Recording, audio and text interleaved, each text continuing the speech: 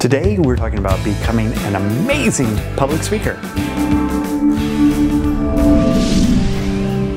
Hey, it's Tom Jackobs. Thank you so much for tuning in to this special training session on becoming an amazing public speaker.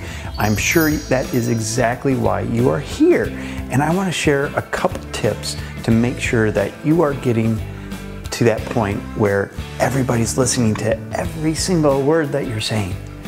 So at the end of the day, a public talk when you're up on stage or in front of a camera, it becomes a performance. Don't think of it as a presentation because presentations oftentimes are boring and you know, overrated.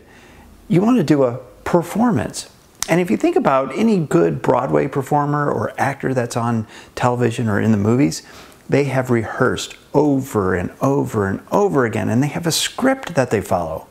Well, why not do that for public speaking? Because that, at the end of the day, is a performance. So, what I do for all of the stories that I tell and all of the speeches that I do, I write them out in painstaking detail so that I'm sure that I don't ramble on, I have the right structure in place, and I say the right words at the right time.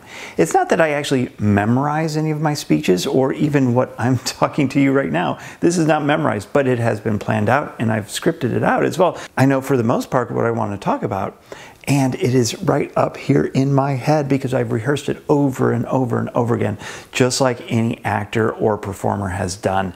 And that, my friends, is the number one thing to make you a better public speaker is to make sure that you are rehearsing over and over and over again your script. Now, this is something that I have all of my clients do that go through the Dramatic Impact Story Academy is in painstaking detail write out their stories and then we rearrange it and, and refine it so that that story is complete because there's nothing worse than going to a presentation or a performance now where the storyteller just rambles on and on and on without actually making a point.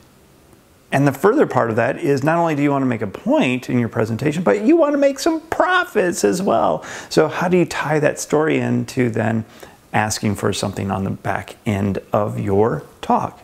And that's part of the whole program that I go through. But today, I want you to start practicing on your performance and scripting out your talks so that they make sense, they're in the right order, and you are getting people to do something.